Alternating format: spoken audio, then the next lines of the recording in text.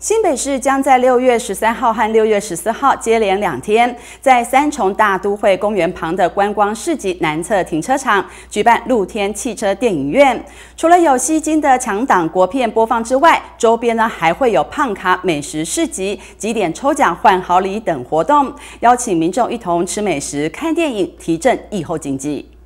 疫情趋缓，新北市陆续推出各式振兴措施，将于六月十三和十四号两天，在三重大都会公园旁的观光市集南侧举办青春电影业露天汽车电影院。市长侯友谊表示，除了预期能够有一千五百人入场观看，更在周边设置了胖卡美食市集、几点抽奖活动等等，希望能够带动疫后产业经济的复苏。大概有一千五百人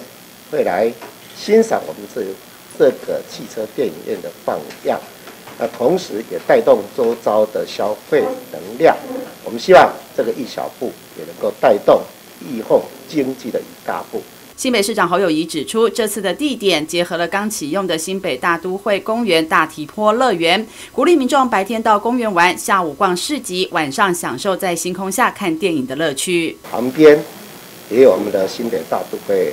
的公园。所以很多的上厕所也好，以及配套的措施里面，还有市集场所，都可以让民众满满的消费。